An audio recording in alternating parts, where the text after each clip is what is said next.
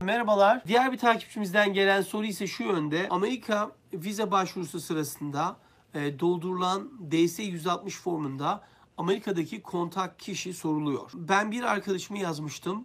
Ancak başka bir arkadaşımız da aynı arkadaşımı göstermiş. Bunun vize almamızda olumsuz bir etkisi olur mu diye bu takipçimiz soruyor.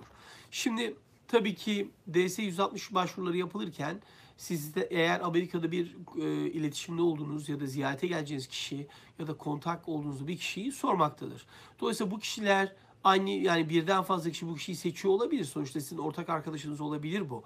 Yoksa e, sizin ve arkadaşınızın bu aynı arkadaşınızı göstermiş olmanız herhangi bir olumsuzluk teşkil etmez. Ama tabii bu size bu kontak kişisiyle ilgili soru sorulmayacağı anlamına gelmez. Bu kişiyi nereden tanıyıp tanımadığınızla ilgili soru sorulmayacağı anlamına gelmeyecektir. Ama burada önemli olan nokta dediğim gibi sorunuza cevap vermiş olma noktasında hayır herhangi bir olumsuzluk teşkil etmez. Aynı kişiyi göstermiş olabilirsiniz. O da bir problem teşkil etmez.